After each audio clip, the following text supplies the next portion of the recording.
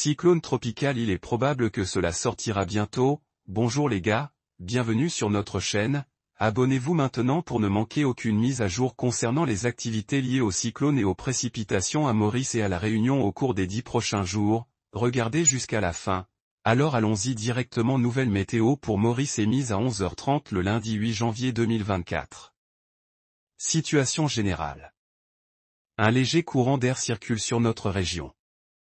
Prévision pour les prochaines 24 heures. Partiellement nuageux en général cet après-midi, temporairement nuageux en fin d'après-midi sur le secteur nord avec quelques averses localisées.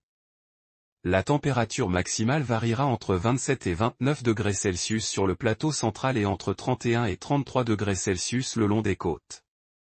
Nuageux sur le en altitude pendant la nuit et demain matin avec quelques averses. Partiellement nuageux ailleurs. La température minimale variera entre 21 et 23 degrés Celsius sur le plateau central et entre 24 et 26 degrés Celsius sur les régions côtières.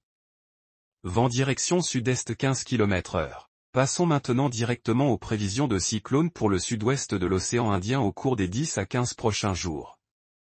Une circulation cyclonique se formera bientôt au nord de l'île Maurice à environ 1500 km de là, qui s'intensifiera encore pour devenir un cyclone majeur et devrait se situer à proximité de la Réunion. Et Madagascar.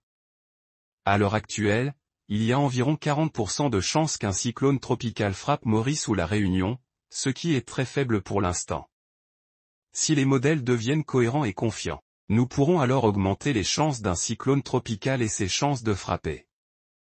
Maurice, alors que font les modèles, Parfois il montre un coup direct avec une intensité de catégorie 5 et parfois il montre un chemin vers Madagascar avec une intensité de catégorie 3 puis recourbe vers Maurice comme un cyclone de catégorie 2.